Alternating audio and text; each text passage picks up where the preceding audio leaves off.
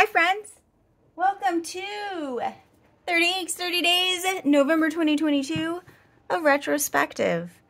Because, like all good project managers, you gotta do a retrospective when you're done.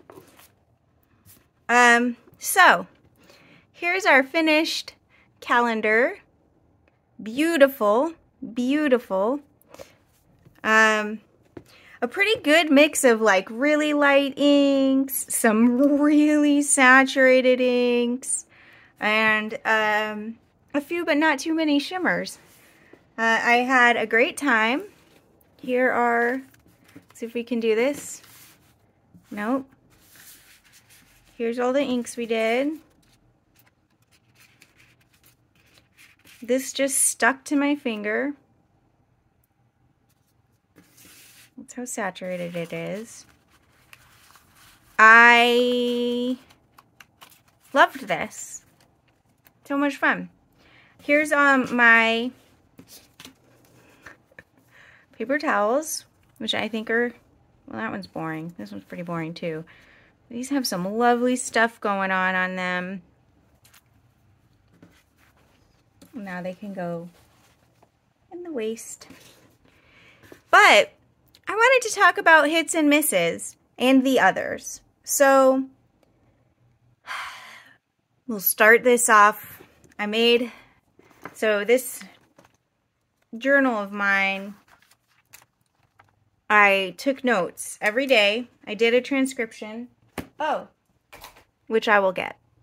So I have been working on the Haunted Attic Hopefully the lighting is okay. It's really bright sun, which is in my eyes. And I've been transcribing into this. Um, this is the Endless notebook I got with Regalia paper. And I'm up to page 65 in the book. It's 60 in here. So I'm hoping I have enough pages. So every day I did one page front and back in an ink. And then I wrote my thoughts about how I felt about using the ink in that other notebook. So that I would remember at the end of the month. Because otherwise, my favorites would be like, well, I remembered these, so they must have been good. Um, but we're going to start with the misses. So my least favorites. Push this up. And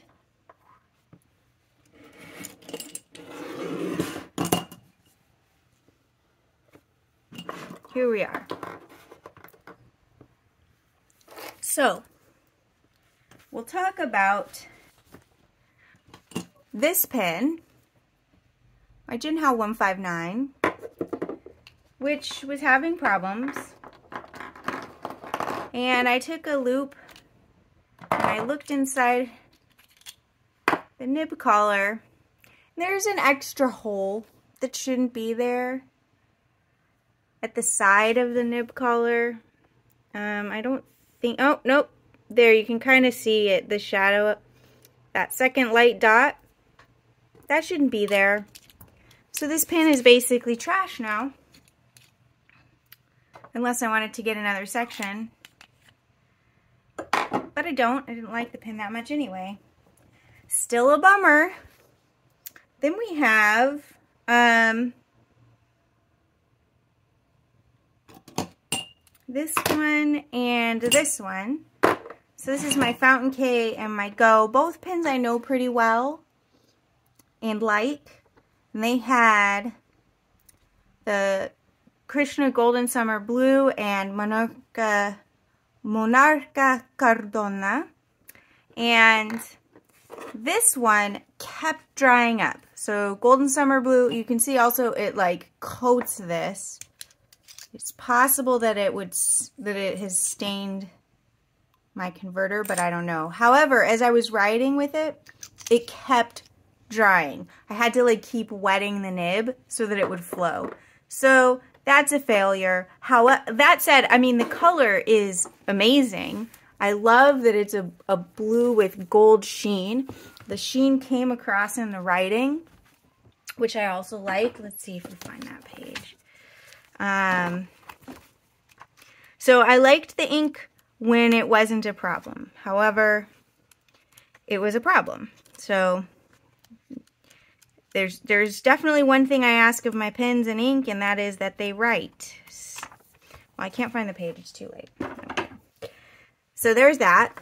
The Cardona, similar problem. Um, I wrote this down. It keeps stopping, and I thought maybe it was clogging from shimmer, but I mean, this pin, it can handle it. It has handled it on other things. Um, and it's and it was like railroading. So I'm not sure. I don't hate the inks. And I will try Cardona in another pen in case it was a pen problem and not an ink problem. But those were misses. then, look at that. Look at. Do you see this? That's from the card that I touched. Y'all. These pens. Hmm. These were the inks that were too light. so, I just had no patience for them. so we have here a few of the Sailor Yurameku. We have Seki, Kanyo, and Kyoko. We have Krishna's Cassia Flora. We have Krishna's Bamboo Shoots. Sailor Manyo Haha. And Van Diemen's Snowy Mountain Sunset. This is a gorgeous ink. And the funny thing is, it wrote better. It showed up better in my fine nib. Because what I did is I replaced the nib in the pen. I did one page with um, a fine, well, maybe it was a medium. It felt fine. Nib. And then I did the other side with broad. And I feel like this is legible. And this was less so. So that was interesting to me. Which does make me wonder, these other inks that I felt were too light, would they do better in a fine nib? Because it's going to concentrate the same amount of ink into a finer line. So I may try it, although my 3776 is not particularly broad. So maybe not. Nor is uh, this Lamy Vista. This has a left-hand nib on it, if I recall correctly. So pretty inks, beautiful colors. It turns out I was too frustrated by them. So those are the misses. Now, I have a whole like setup here. I thought like what I should do is is like my hits as a you know like yearbook thing like best personality, best smile. And I couldn't do that, but I did come up with one that I just felt like most likely to succeed. Which was for me like the most businessy. And it, it but businessy for me is like, who are you even kidding? My Franklin Christoph, which had, let me get this right. Yeah. Cielo Cruel by Monarca. I loved it. It's so beautiful. So, oh, it's noon, everyone. So pretty. I loved the color. It wrote nicely. It's just, yep. So let's see if I had anything. Oh, hmm, sun's going behind a cloud. Let's see what I had to say about it. If there's anything protect, protect particularly Said Cielo Cruel is gorgeous, not too much shading, a good amount. Works well on both papers. Probably would love anything in this pen. That's probably not true, but I did like it. And then, alternate choice. This pen is too, like, whatever for most likely to succeed. This is my Sailor Pro Gear, and let me make sure I have this right. Had the um, Shikiori Yamadori in it. Yeah. Gorgeous. Now, these are like the same color. And I promise that's not why I picked them, okay? I do like that color, but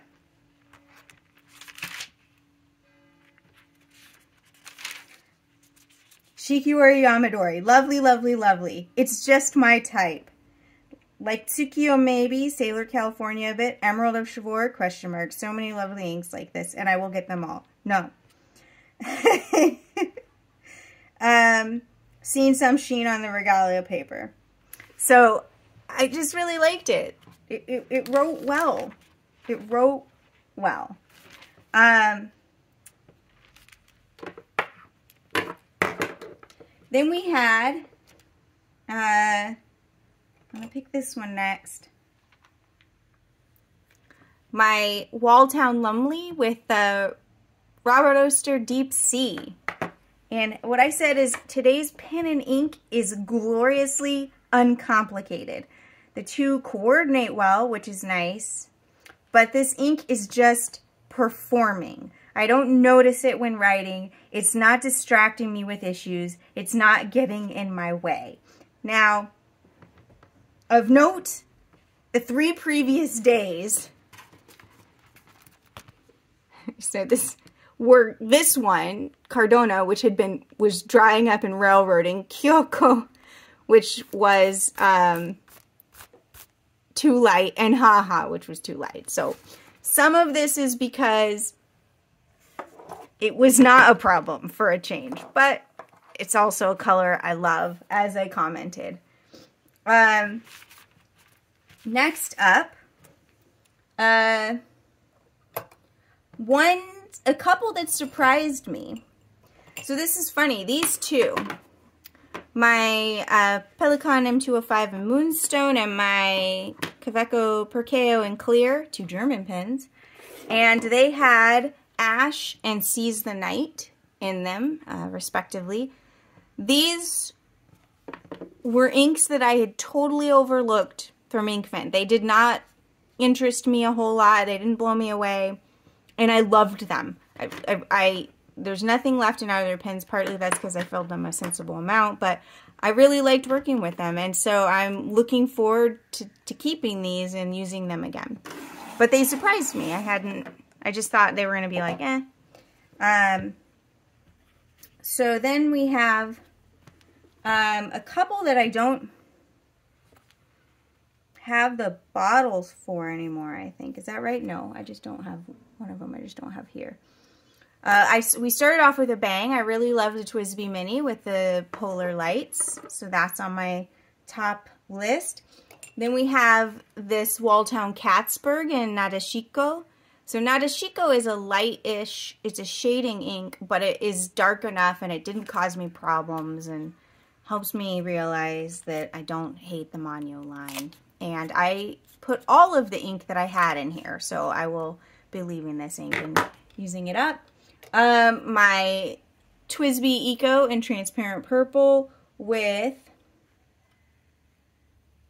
uh, Jacques Herbin uh, 1670 Violet Imperial. I mean, of course.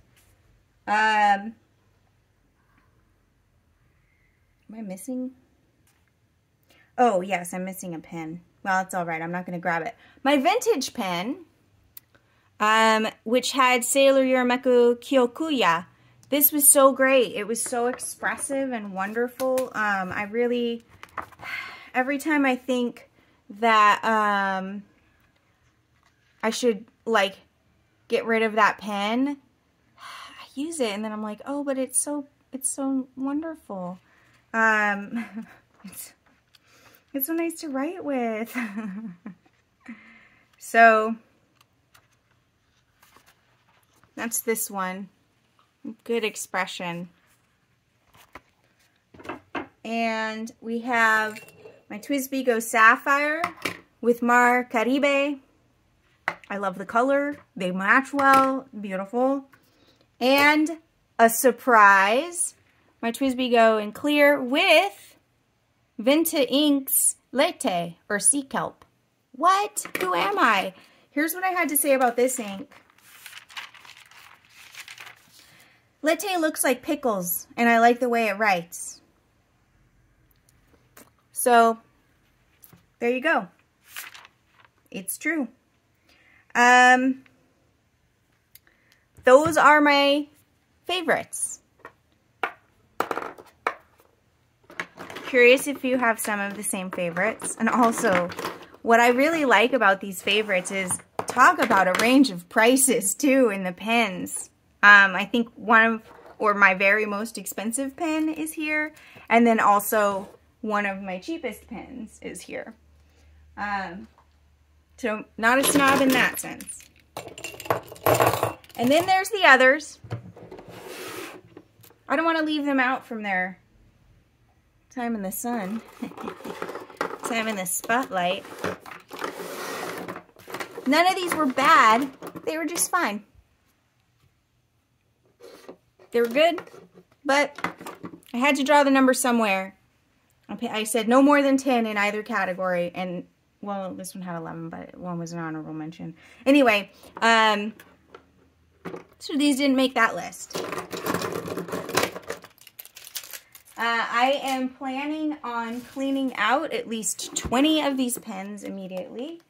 Partly that's because they're empty. Partly I'm just done with them.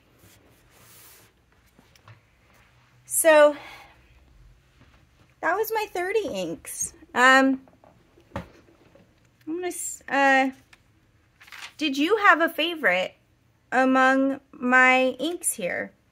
Uh, I, I'm gonna take a look through of any other comments I made. Um,